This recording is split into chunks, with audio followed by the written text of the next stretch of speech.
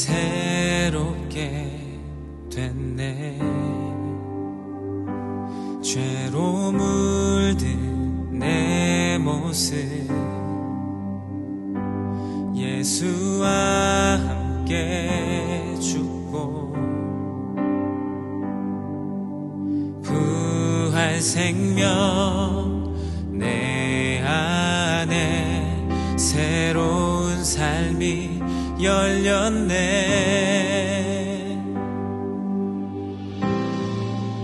너희가 나를 택한 것이 아니요. 내가 너희를 택하여 세웠나니 오직 내 안에 오직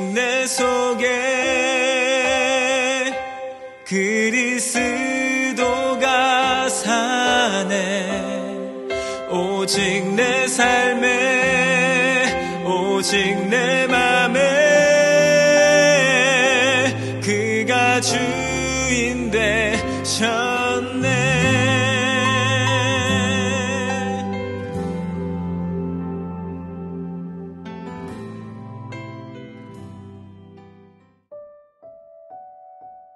유월 9일 금요일 삶의 예배일기 제목 북이스라엘의 멸망. 본문 열왕기하 17장. 제 17장.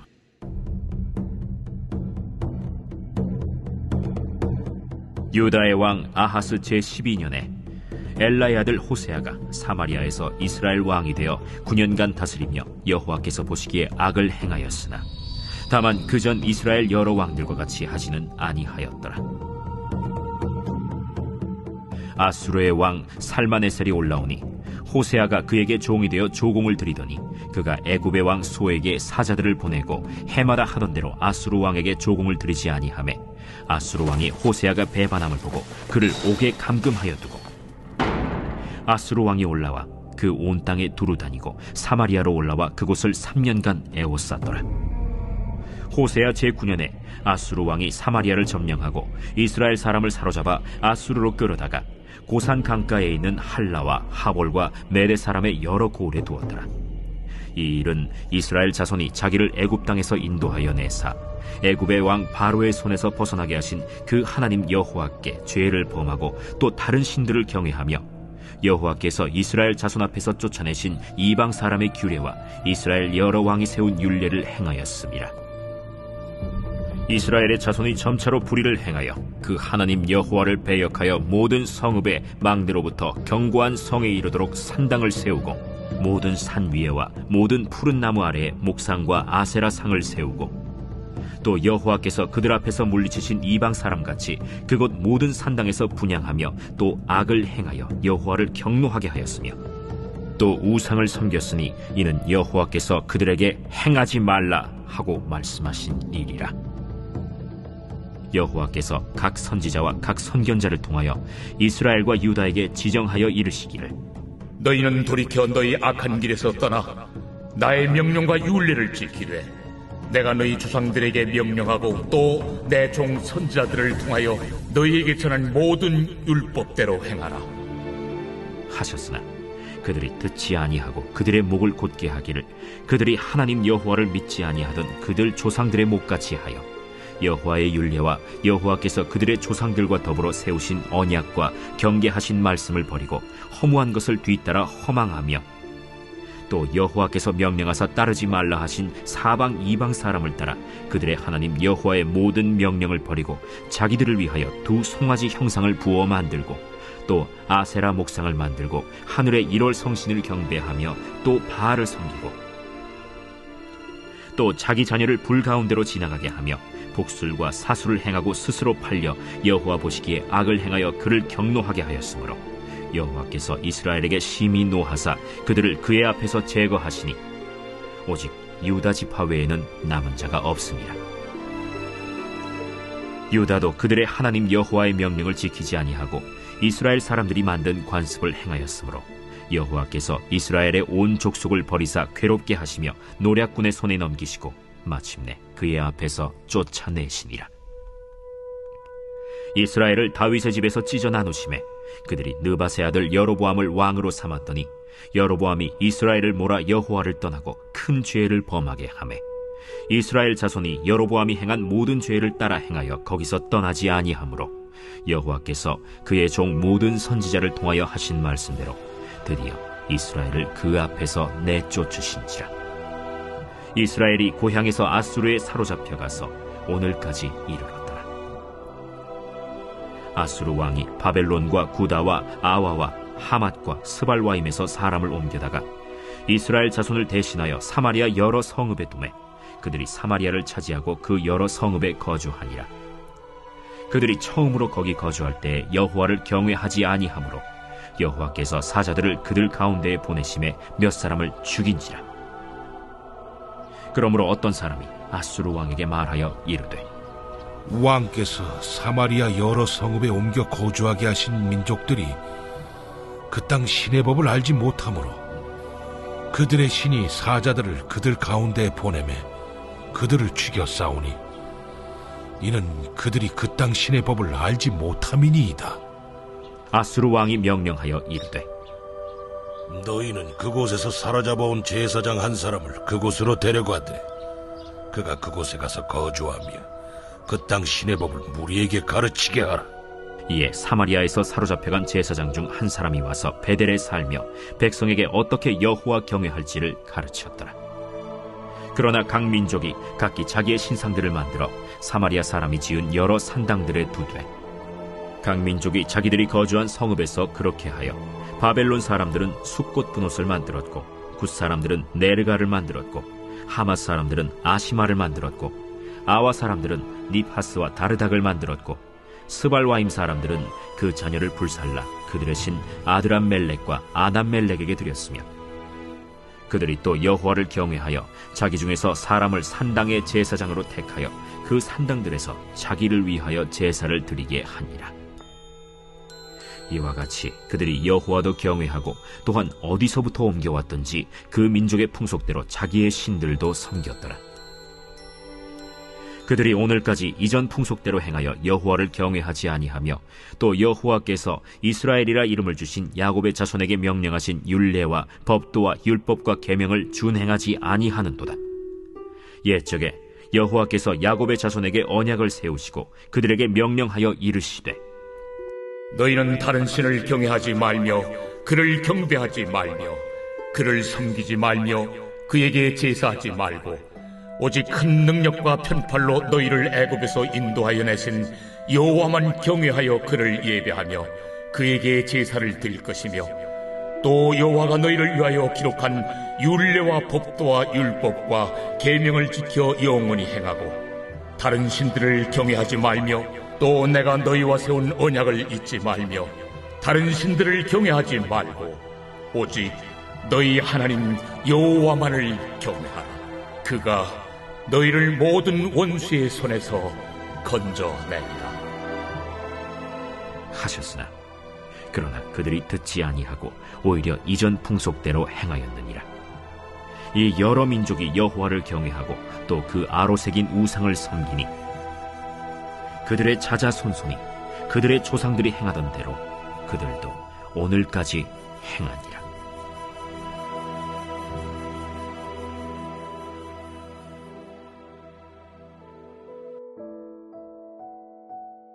북이스라엘의 마지막 왕 호세아가 아수르 조공을 중지하자 아수르는 이스라엘을 침공합니다.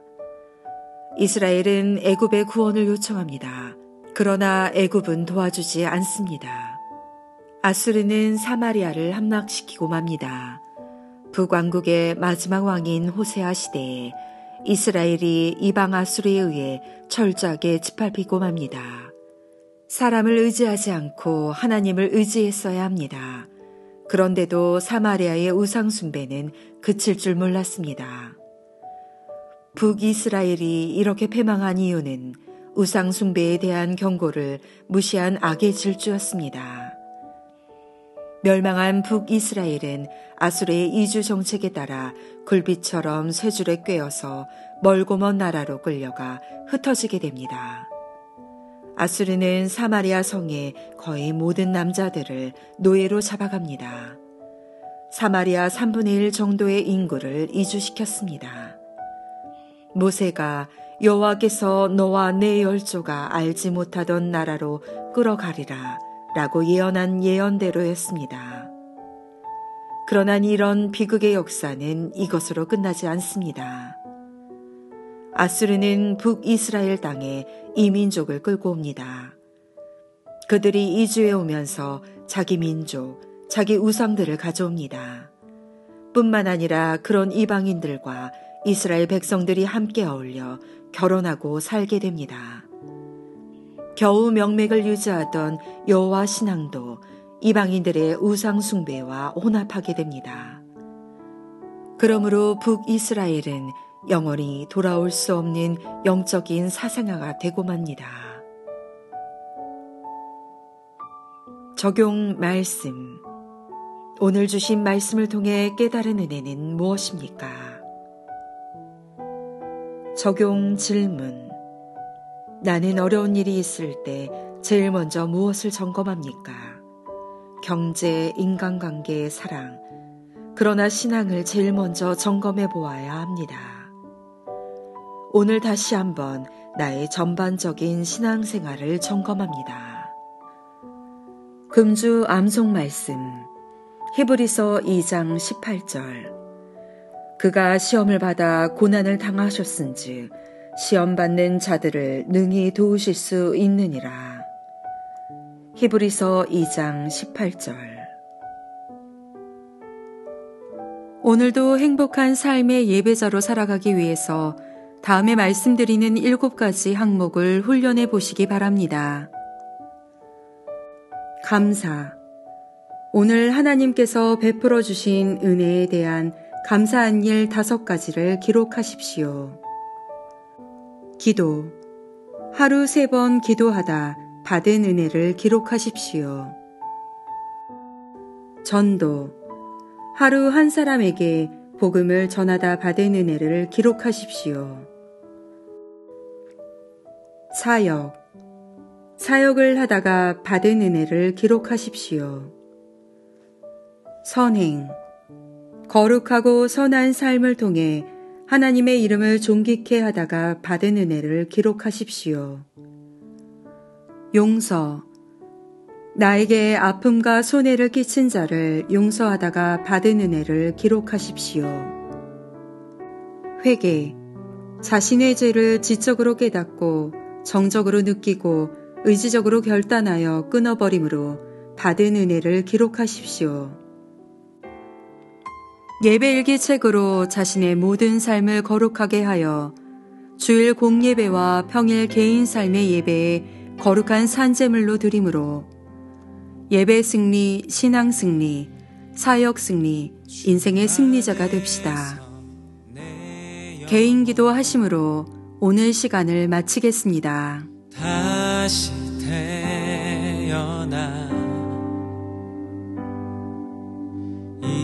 이전 것은 지나고 새롭게 됐네.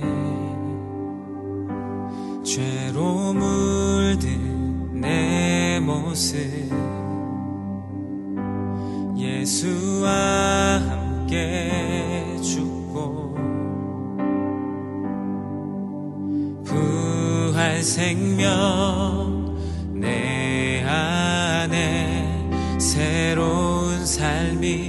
열렸네. 너희가 나를 택한 것이 아니요. 내가 너희를 택하여 세웠